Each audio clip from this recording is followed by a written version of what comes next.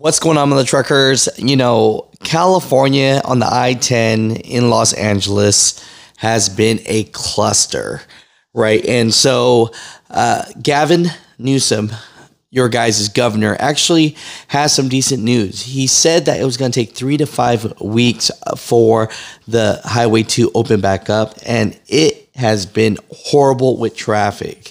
Now, here's the thing over 300,000 vehicles travel on that highway, on that piece of the highway, every single day. So, here's the good news for truck drivers. It looks like by the latest, this upcoming Tuesday, five lanes on both directions should be back open. So, you should be good to go.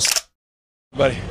Um, thanks for your patience, and uh, it's good to be back uh, here with all of you and uh, here with good news. Um, our timeline has changed um, with the extraordinary work of the men and women you see behind me the carpenters, the laborers, teamsters, the cement masons.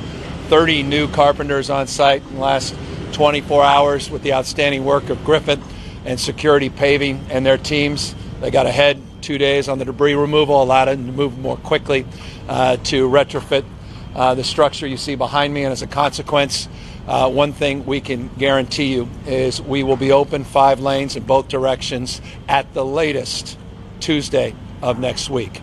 So that is a significant improvement on the basis of our uh, original timeline, three to five weeks.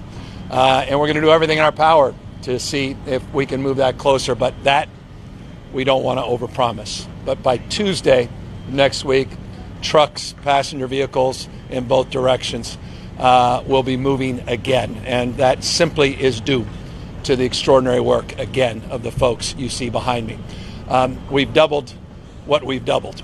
we've doubled the crews, we've doubled down uh, on uh, our uh, efforts here. The materials and supplies um, have um, presented themselves without any uh, hindrances or any uh, problems.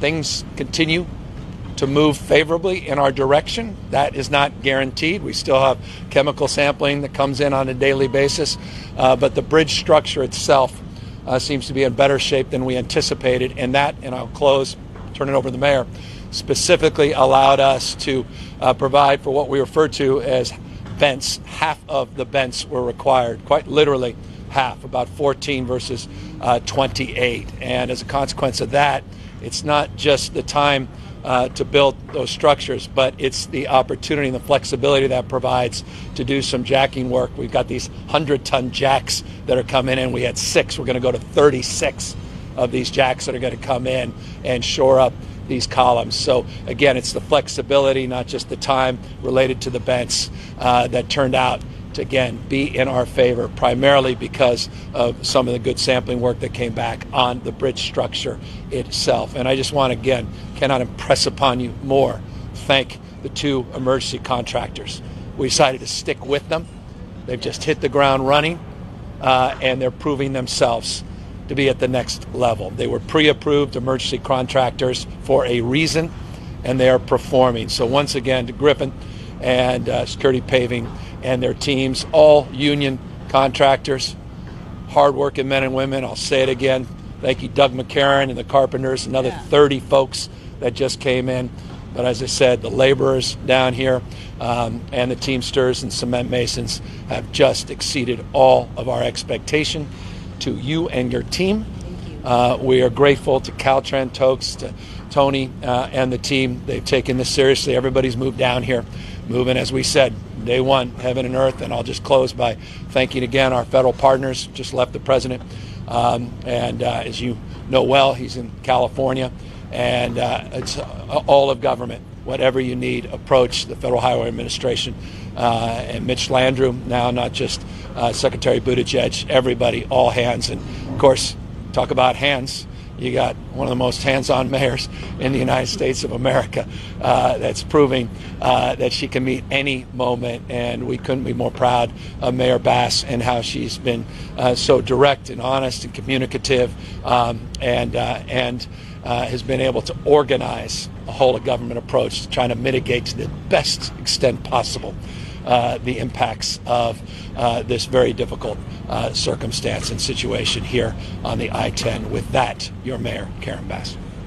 Thank you, thank you, thank you. Well, this is a good day in Los Angeles. And let me just say, to quote one of the Caltrans engineers, all of the stars have been aligned, been aligned on behalf of Angelenos.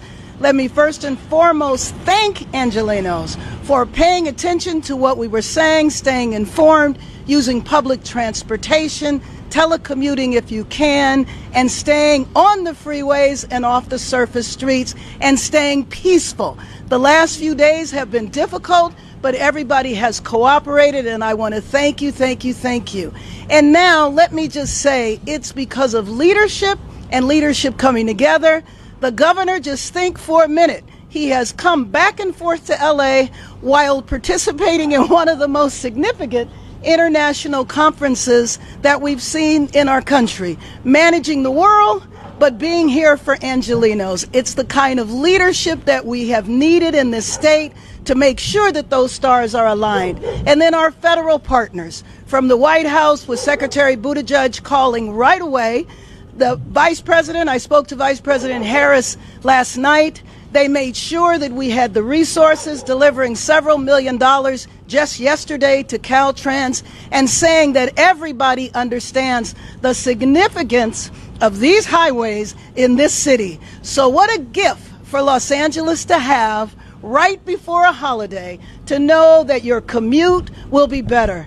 I also want to thank the workforce. All of the folks that have been here, from the carpenters to the teamsters to the laborers, security paving, Griffin, their experience from 1994 being there when then when when we needed them Everybody has been point understanding the significance of this. And again, I want to thank the governor. I know he left the conference to come here and will be going right back, but really appreciate his leadership and the leadership of Caltrans and our Secretary of Transportation and everybody that locked arms, as we say in Los Angeles, and get and are getting the job done. Thank you. Mayor, where do we stand on the arson investigation? One quick second, if we can just uh, finish up with Caltrans. We'll talk about that.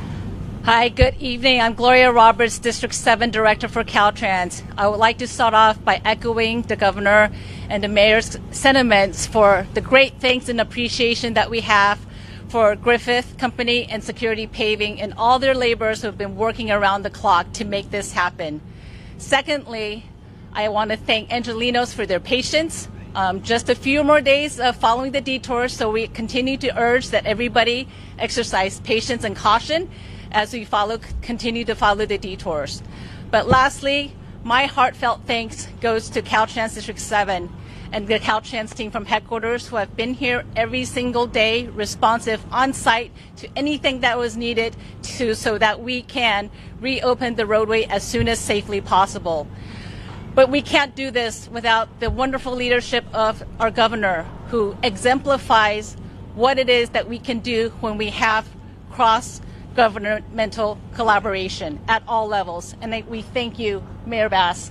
And I thank everybody for their patience and for all the workers and for our wonderful Caltrans team. We are so proud to bleed orange. Thank you very much. and now we will be sharing this information in Spanish. Buenas noches. Mi nombre es Eric Menivar, soy vocero para Caltrans Distrito número, número 7. Queremos dar gracias a todos los trabajadores que pusieron todo su esfuerzo atrás de esta emergencia. Nuestros trabajadores están reportando, reportando día y noche cada día.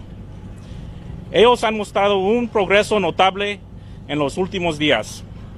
Estamos muy agradecidos por su trabajo.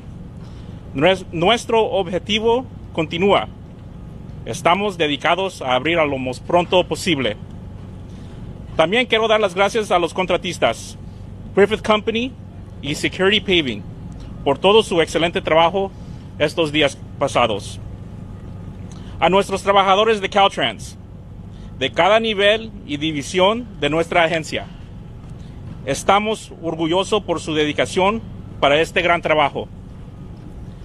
Esto es un ejemplo de se, qué se puede lograr cuando todos trabajan juntos. Finalmente, quiero, queremos compartir un mensaje importante para nuestros conductores, especialmente los que conducen en la ruta alternativa. Por, por favor, conduce baja velocidad. Tu, tu seguridad es nuestra prioridad. También muchas gracias al gobernador y la alcaldesa Bass por todo su apoyo en esto. Now I will open it up to uh, questions and answers. Thank, thank you. Is there somebody that can respond? No, I- on the arson investigation, it's ongoing. And I'll remind everybody, 1-800-468-4408, if you have any information, can lead uh, to corroborating what we have in basis of some preliminary uh, information uh, about Uh, individual or individuals. So we have no further update, but as we made very crystal clear, as we do, and it's appropriate to share, we'll share, but we're looking still for any support we can from the public, that confidential tip line. provide any uh, update on in terms of the inspection issue or where the breakdown may have been or not have been in terms of how this fire started? Was, was the fuel stored properly or where, where I mean, it was it's, it's an arson investigation, so it was a crime. Was an, as an act of malice. But let me go more broadly. Um, as you know well, a lot of you reported it and quite accurately. Uh, Apex, the owner of the lease, there's five additional leases. They have unlawful detainer in all five operations. Uh, we've been inspecting the site. We gave them lawful, unlawful detainer on September 30th of last year. It was inspected multiple occasions prior to that. That led to the off, unlawful detainer uh, listing, not only for back rent but also for illegal subleasing.